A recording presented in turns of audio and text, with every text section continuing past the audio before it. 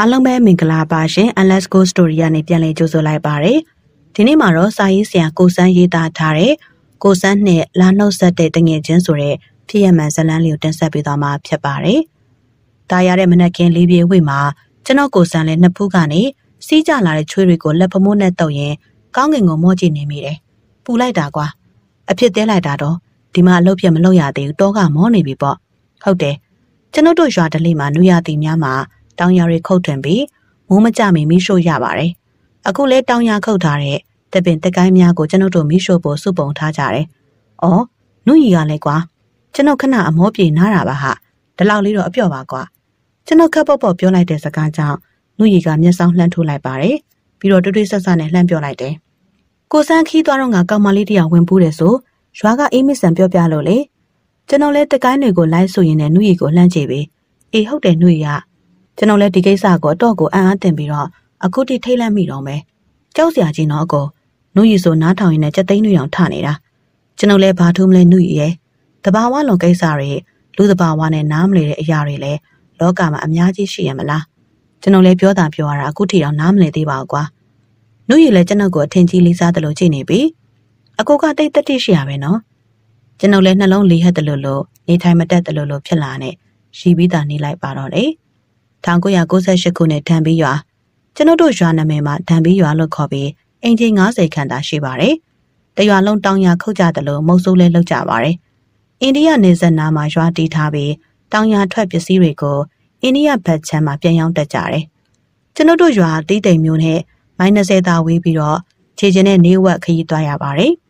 ကားလမ်းဆိုင်ကယ်လမ်းမပေါက်သေးပဲလူသွားလမ်းသေးသေးတာရှိပါသေးတယ်။ရွာထိပ်မှာတီးတိမ်မျိုးကိုသွားတဲ့မြို့ထွက်လမ်းဖြစ်ပြီး ရွာနောက်ဘက်မှာတော့တင်ញိုင်းကုန်းရှိပါတယ်။ရွာလေးတက်တက်မှာတော့ကျွန်ုပ်တို့ဖះเจ้าကြီးရှိပါတယ်။ဖះเจ้าနားမှာရင်လူနေအိမ်များဝိုင်းရံလျက်ရှိပါတယ်။ဖះเจ้าရှိနားမှာတော့ရွာဘော်လုံးကွင်းကြီးရှိပါသေးတယ်။ကျွန်ုပ်တို့ရွာမှာအင်ဂျင်နေပါလှပေမဲ့လူမျိုးပေါင်းစုံနေပါစုပေါင်းနေထိုင်ကြပါတယ်။ရွာမှာတာယာစုပ်ပြေလှပြီးညတိုင်းနေပါရွာဘော်လုံးကွင်းမှာကလေးသူငယ်လူငယ်လူရွယ်တွေစော့ကစားတတ်လို့ပျော်ရွှင်ဖွယ်ရာအတန်ပေါင်းစုံနဲ့စုညံနေတတ်ပါတယ်။ အိမ်တိုင်းလည်းမိအိမ်ကိုစီချိတ်ဆွဲနိုင်လို့တရွာလုံးနှီးပါထိန်ထိန်လင်းနေပါတယ်။ကျွန်ုပ်တို့ဓံပီးရွာမှာအိမ်ကြီးနဲပါသေးပေမဲ့လည်းသူ့အိမ်ကြီးဖြစ်ပါတယ်။တဲအိမ်ဆိုတာတအိမ်မှမရှိပါဘူး။အင်မတန်မှတိုးတက်နေတဲ့ရွာလေးပဲဖြစ်ပါတယ်။ကျွန်တော်ကိုစမ်းမှာအသက်30နီးပါးရှိပြီးခန္ဓာကိုယ်ပိန်ပိန်ပါးပါးနဲ့မီယိုကကရှိပါတယ်။တောင်သူတဦးဖြစ်တဲ့အလျောက်ဗလာတောင်တောင်နဲ့ကြည်ကောင်းလာတဲ့မျက်နှာပိုင်ရှင်ဖြစ်ပါတယ်။ကျွန်တို့လူရဲများမှာ ညနေအလုံးသိမ်းပြီးတိုင်းချင်းလုံးခံပေါ်လုံးကန်တက်ကြပါတယ်။1998ခုနှစ်နိုဝင်ဘာလ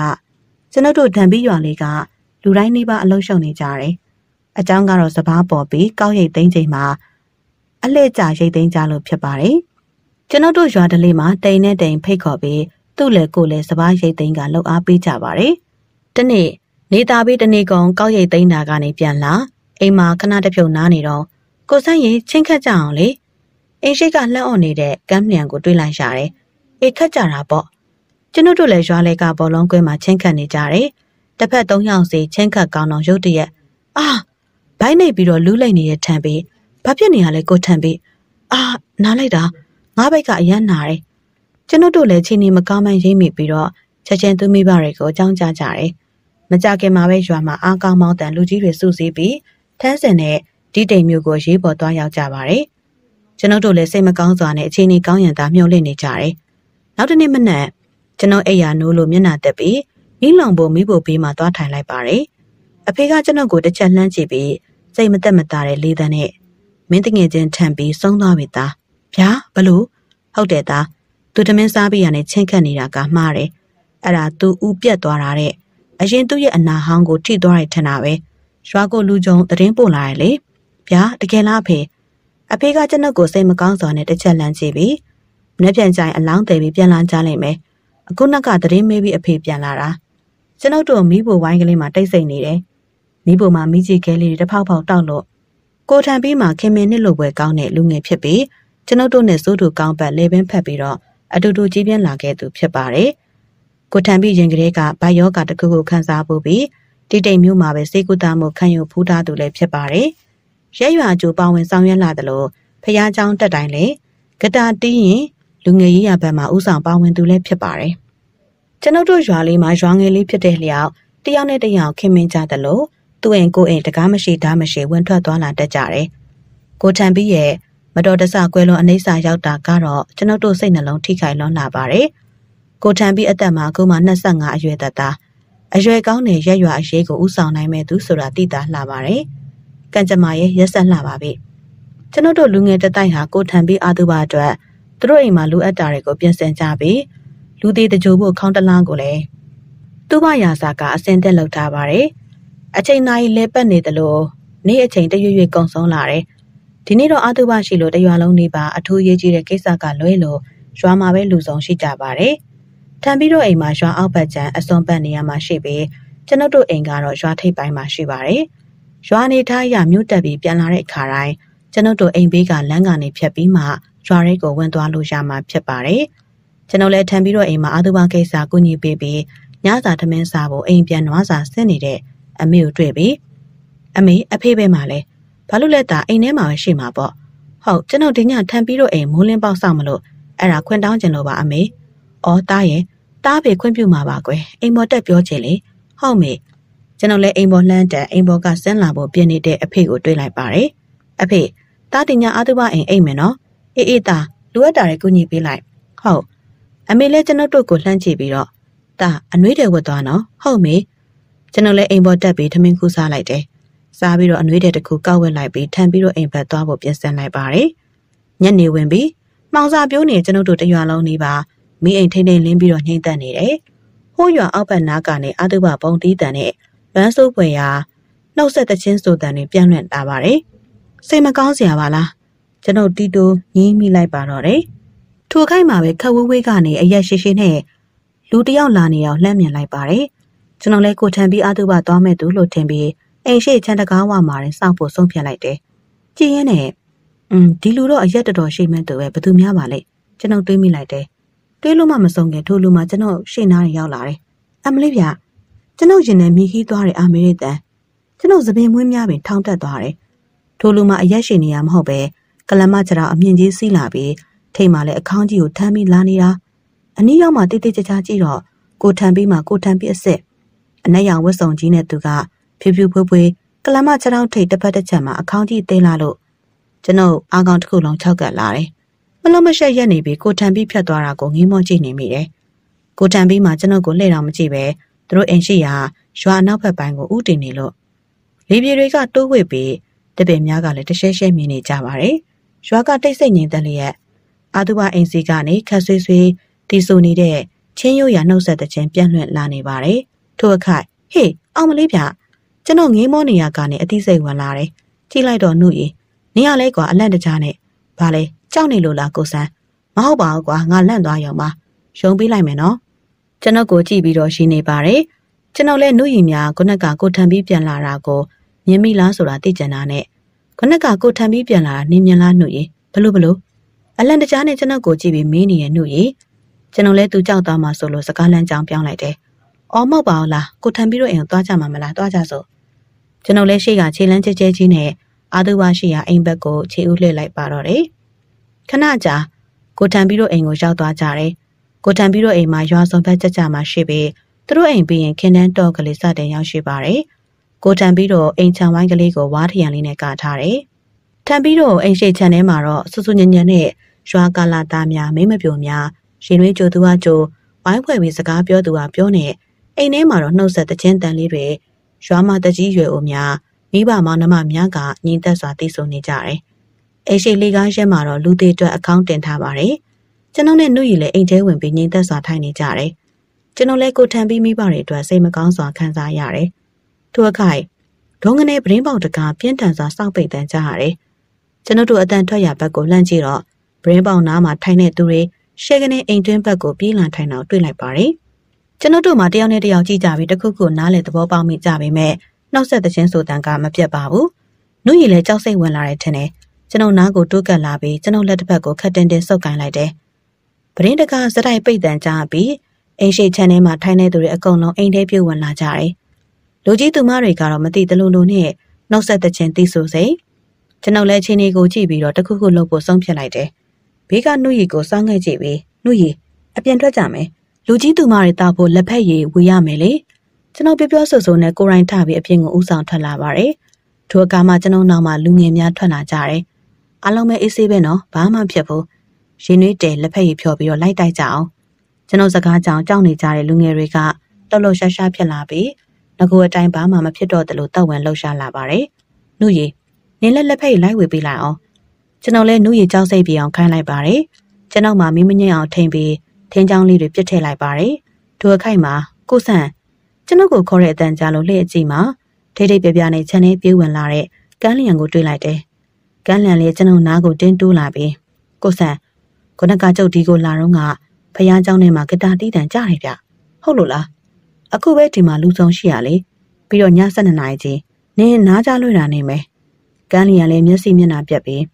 ကျုပ်လေးကိုစန်းထင်တယ်လို့နားကြလွှဲထင်နေရပဲဒါပေမဲ့ဒါပေမဲ့ဘာဖြစ်လဲဘေးဘီဝဲရာတွေကြီးကြီးကြောင်ကြီးကြည့်ပြီးနောက်တက်ပြင်းတစ်ချက်ချရင်ဒါပေမဲ့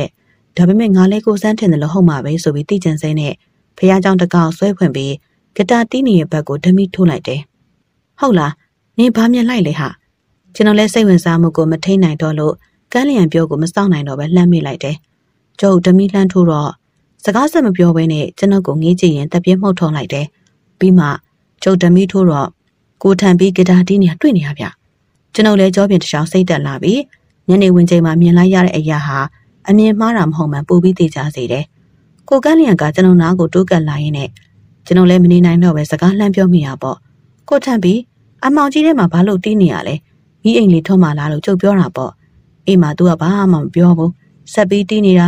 तू တီးတာကလည်းသူနဲ့ကြုံအမြဲတမ်းတီးနေကြတဲ့ချင်းပဲ။ကန်းလျံမှာကိုထံပြီးရဲ့အခင်ဆုံးတငယ်ချင်းတတွဲတွဲသွားလာပြီးတော့ဘာလုံးလုံးအတူရှိတတ်တဲ့အချစ်ဆုံးတငယ်ချင်းဆိုတာတရွာလုံးအသိကန်းလျံမှာကျွန်ုပ်ကိုတစ်ချက်ကြည့်ပြီးဖြည်းဖြည်းချင်းစကားဆက်ပြောလိုက်တယ်။ကျုပ်ကလည်းသူဆုံးနေဆိုတာမသိသေးဘူးလေ။အဲ့ဒါနဲ့သူ့စီကိုလှမ်းသွားလိုက်တယ်။ ကန်းလျံမှာပြောရင်းနဲ့ကြောင်လုံးနေမှတိတာလာတယ်။ကျွန်တော်လည်းကြောက်မိပေမဲ့မကြောက်တယ်လို့ဟန်ဆောင်အားတင်းပြီးတော့အဲ့တော့ဘာဖြစ်လဲကန်းလျံ။ကျုပ်လည်းသူ့စီလှမ်းသွားပြီးတော့သူ့နားမရောက်ခင်လေးမှာသူ့ကျုပ်ကိုလှမ်းကြည့်တယ်။ပြီးတော့ပြုံးပြနေရလေ။ပြီးတော့ဂီတာတန်လေးရုတ်တရက်ရက်တန့်ပြီးသူလည်းမျက်စိရှိမှပျောက်သွားတာပေါ့ကိုဆန်းရဲ့ဘလို့ဟုတ်တယ်ကိုဆန်းကျုပ်ကဒီညမှာအိန္ဒိယဘက်ကနေပြန်လာလေသူဆုံးသွားတယ်ဆိုတာလည်းအိမ်ရောက်မှသိတာဗျအခုကကျုပ်ကအိမ်တော်မရောက်သေးပဲဖះเจ้าကိုအဖြတ်ဂတာတန်ကြလို့တွားကြည့်မိတာ ကန်းလျက်မှာသူကနကကြုံတွေ့တဲ့အဖြစ်ပြက်ပေါ်ကြောင်ရွံထိတ်လန့်တယ်လို့သူ့အချက်ဆုံးတငယ်ချင်းနိုင်ရေးပေါ်မှာဝမ်းနဲ့ကြည်ကွဲမှန်သိတာလာတယ်ဒါနဲ့သူ့ရုပ်ကလက်ရောကြုတ်ကြည့်လို့ရမလားသူ့အလောင်းမရောက်သေးဘူးလေမနေ့ပြန်မှတဲလာကြမှာဖြစ်ရလေကွာကျွန်ုပ်တို့လူငယ်တတိုက်လေတညာလုံးအာသုဘမှာလှုပ်အားပေးပြီးရောင်နေပြုတ်ချိန်အိမ်ပြန်အိပ်ဖို့ပြင်ဆင်ကြပါတယ်ကိုစံပင်မမီနော်နှုတ်ရည်ရဲ့ကျန်နာသောစကားတန်အော်မပင်မပါကွာနှုတ်ရည်ရောဒီလိုပါပဲကိုစံရကိုထံပြီးအတွက်ခန်းစားရတယ် ခက်အပ်အပ်ငုံမလို့ပြောလာတဲ့နှုတ်ရည်စကားနှုတ်ရည်ရဲ့အရာရာဖះလူကြပါပဲကျွန်တော်တို့လည်းတနေ့ဒီလမ်းမဲသွားရမှာပဲမဟုတ်လားဒီညလေးလုံအားပေးရမှာဆိုတော့ပြန်ပြီးတော့အားရင်ပြအောင်အိတ်လိုက်ပါအောင်ဟုတ်ပြန်ပြီနော်ကိုစံဒီညပြန်တွေ့ကြမယ်ဖြပြောဆွဆွနဲ့လှမ်းထွက်သွားတဲ့နှုတ်ရည်ကြောပြင်ကိုငေးကြည့်ရင်ကျွန်တော်မှလွမ်းနေမိတယ်လို့လို့ကျွန်တော်လည်းကုန်ခန်းနေတဲ့အင်အားတွေအတွက်အနားယူဖို့အိမ်ပြန်လာခဲ့ပါတော့တယ်။ရောင်နေပြိုးစဲနေကောင်းကောင်းမထွက်သေးတဲ့မလင်းတလင်းအာယုံဦးချိန် ကျွန်တော်လည်းခြံကားဖွင့်ပြီးလေကားပေါ်တက်အိမ်တကားနားမှာစောင်းကြောင်ထိုင်နေတဲ့ကိုထံပြီးကျွန်တော်ခြေလမ်းတွေလေးလံလျက်ဒီတိုင်းမတက်ရက်ပြီးငေးကြည့်နေမိတယ်။နှုတ်ဆက်ခဲ့ပါတယ်တငယ်ချင်း။နားရဲကိုမပီဝိုးတော့ဝင်လာတဲ့စကားတန်ကျွန်တော်လည်းထိုကမှတတိဝင်လာပြီးလှမ်းကြည့်တော့ဘာမှမရှိတော့ပါဘူး။ကျွန်တော်လည်းခြေပြက်လက်ပြက်လေကားရက်မှာထိုင်ပြီးတော့လေးလျောင်းလိုက်တယ်။ဘာတွေလဲအလောင်းသေးလာတဲ့သူတွေရောက်လာကြပါပြီကိုတန်ပြီးမှသူ့ချက်တဲ့မွေးရမြေကိုရောက်ရှိလာပါပြီသူမိဘမဆိုထားနဲ့ ကျွန်တော်တို့ရွာသားအများစုလည်းရှင်နဲ့မြခန်းစားရင်းနဲ့ငိုနေမိကြတယ်လူဘဝကတိုးတောင်းလှပါတယ်ကိုတန်ပြီးတကြိုပြီးတပတ်ကြာမှရန်ကုန်ကနေတငယ်ချင်းကိုထန်လျင်ရောက်လာပါတယ်ကိုတန်လေးမှာကိုတန်ပြီးရခင်ဆုံးတငယ်ချင်းတဲ့ကတူဖြစ်ပြီးကိုတန်ပြီးနိုင်ကိစ္စကြလို့တကူးတကပြန်လာတာဖြစ်ပါတယ်။ကိုတန်လေးမှာရန်ကုန်မြို့မှာကားပြင်တင်တန်းတက်ရောက်တင်ကြပြီးဘဝတိုးတက်ဖို့ရည်အမျော်မြင်ကြီးသူလည်းဖြစ်ပါတယ်။ကျွန်တော်ကိုကန်းလျာကိုထန်လေးနဲ့ကိုထန်ပြီးတော့မှ လူရင်းများဖြစ်ကြရုံသာမကအများသူထက်ပိုခင်းတဲ့သူများလည်းဖြစ်ကြတယ်။ဟေ့ကိုဆန်ဟာကိုထန်လေးမင်းပြန်လာရင်နော်။အေးငါကိုထန်ပြီးအာသူဘကိစ္စကြလို့ပြန်လာတာ။အေးကွာစိတ်မကောင်းစရာပဲ။ဟုတ်တယ်ငါအတော့ရင်နာတယ်ကွာ။ပြီးတော့ငါပြောစရာကိစ္စလေးတွေလည်းရှိတယ်။လာကန်းလျံတို့အိမ်သွားရအောင်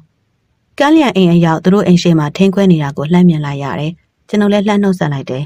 ဟိုင်ကန်းလျံကိုတန်လင်းပြန်လာတယ်လေလာလာထိုင်ကြထိုင်ကြ ကိုထန်ပြီးဆုံးသွားပြီးတပတ်အကြာမှာကျွန်တော်တို့တငယ်ချင်း၃ယောက်ဆုံးတွေးခွင့်ရကြတယ်ကျွန်တော်တို့လည်းအိမ်ရှိကိုပြက်ပေါ်ထိုင်တာနဲ့ကိုထန်လင်းကငါပြောစရာရှိတယ်ပြောလေကွာဘာလို့စကားပလင်ခံနေရတော့ကန်းလျံကအထွန်းတက်ပြေးလိုက်တယ်မဟုတ်ပါဘူးကွာငါတော်တော်ထူးဆန်းနေလို့ပါကွာကိုထန်လင်းကတွေးတွေးဆက်ဆက်ဆိုးလာတယ်တနေ့မှငါကားတွေပြင်ပြီးလို့ပင်ပင်ပန်းပန်းနဲ့အိတ်နေတော့ဘေကမန်းမသိတဲ့ကြောင်နှက်ကြီးတစ်ကောင်လာအောင်နေတာ